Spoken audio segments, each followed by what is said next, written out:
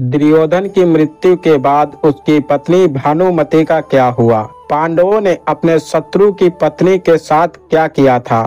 क्या उसकी मृत्यु हो गई थी या फिर उसने किसी के साथ विवाह कर लिया था? जानने के लिए इस वीडियो में अंत तक ज़रूर बने रहें। दोस्तों, महाभारत युद्ध की असल वजह दुर्योधन के बारे में तो हम सभी जानते हैं। लेकिन क्या आप दुर्योधन की पत्नी भानुमति के बारे में जानते हैं? हो सकता है आपने इनका नाम सुना होगा, लेकिन क्या आप यह बात जानते हैं कि उस समय की सबसे सुंदर स्त्री भानुमति का विवाह दुर्योधन के साथ हुआ था? दोस्तों, आपको जानकर हैरानी होगी कि दुर्योधन की मृत्यु के बाद भानुमति का क्या हुआ।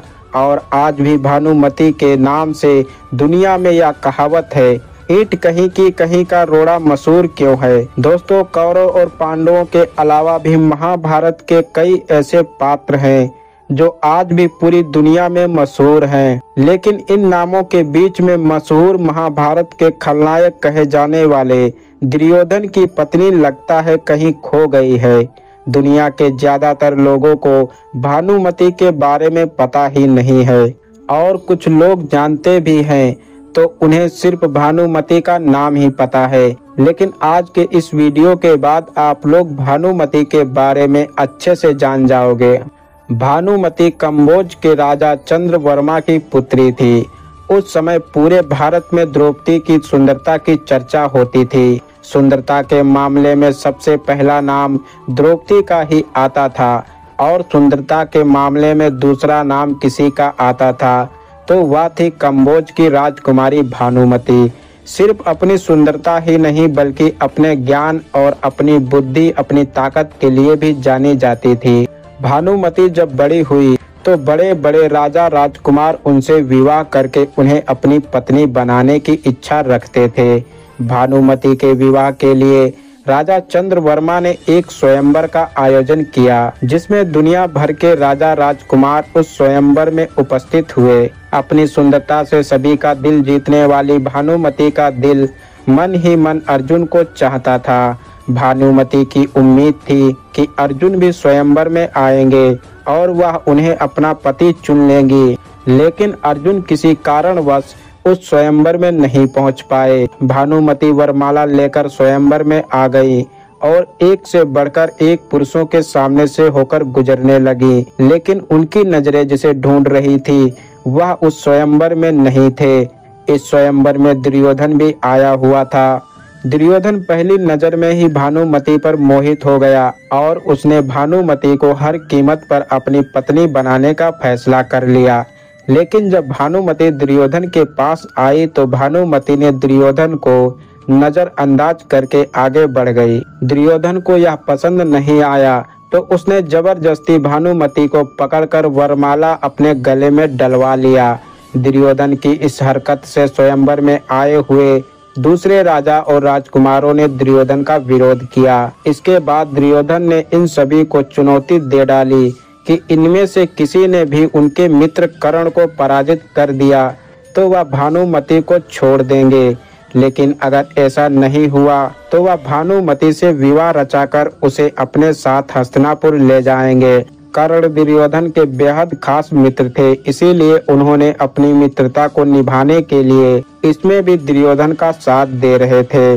भानुमति से विवाह की इच्छा रखने वाले सभी योद्धाओं ने एक एक करके कर्ण को चुनौती दी और कर्ण ने सभी को परास्त कर दिया। अंत में कर्ण को जरासंध ने भी चुनौती दी। कर्ण और जरासंध में काफ़ी लंबा युद्ध चला, लेकिन अंत में कर्ण ने जरासंध को भी पराजित कर दिया। कर्ण से मिली हार जरासंध के लिए जीवन की पहली हार थी। सभी को हराने की खुशी में दुर्योधन ने अपने मित्र को मालिनी राज्य उपहार में दे दिया। अब दुर्योधन का विरोध करने वाला कोई नहीं बचा था, जिसके बाद दुर्योधन भानुमति को लेकर हस्तनापुर आ गया। दुर्योधन के इस हरकत से राजा चंद्रवर्मा काफ़ी दुखी हुए और भानुमति भी इस घटनाक्रम से काफ़ी दुखी थी। हस्तनापुर आने के बाद दुर्योधन ने भानुमति से विवाह रचा लिया। भानुमति अपने साथ एक अपनी अत्यंत सुंदर सहेली को भी लेकर आई थी। भानुमति की सहेली उनकी बेहद ही खास थी और वह उसे खुद से कभी दूर करना नहीं चाहती थी। तो दुर्योधन ने अपनी पत्नी की प्रिय सखी का विवाह अपने मित्र कर्ण से करा दिया। भानुमति कुछ दिनों तक तो दुर्योधन से नाराज़ रही।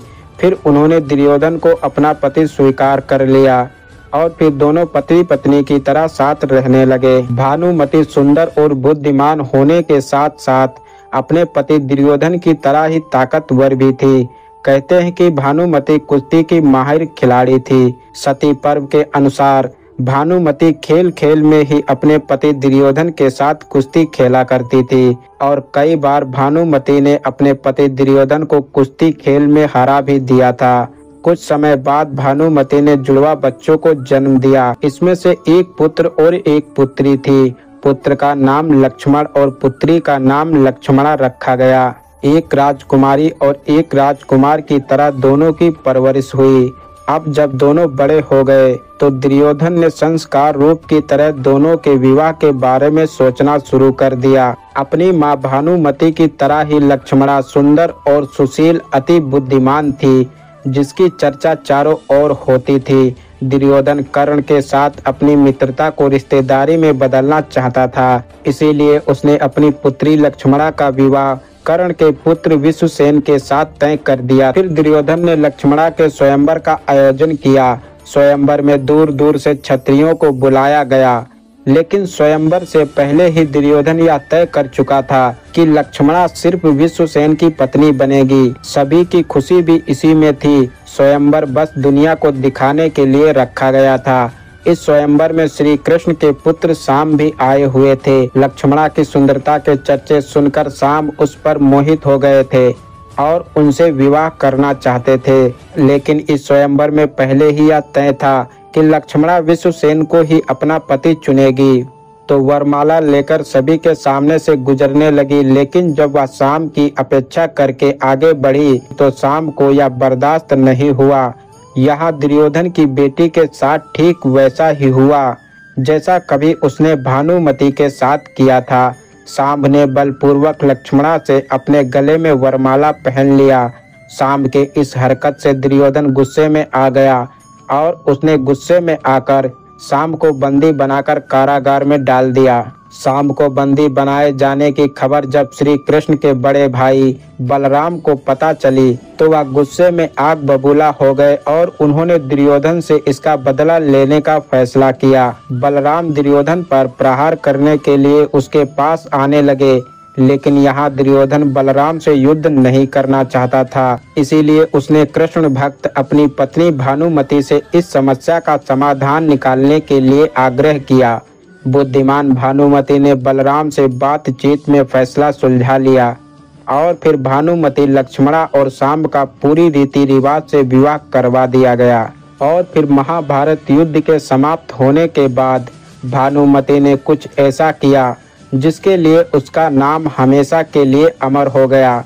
महाभारत युद्ध में दोनों पक्षों को भारी नुकसान झेलना पड़ा था, जिसका आभास दोनों ही पक्षों को था। उस समय एक ऐसी प्रथा थी कि अगर दोनों पक्षों के बीच में विवाह हो जाए तो दोनों पक्षों के बीच में दुश्मनी हमेशा के लिए खत्म हो जाती है। भानुमति ने दोनों पक्षों की दुश्मनी को खत्म करने के लिए अर्जुन से विवाह करने का फैसला किया। अर्जुन भी इस विवाह के लिए तैयार हो गए। फिर अर्जुन और भानुमति विवाह के बंधन में बंध गए।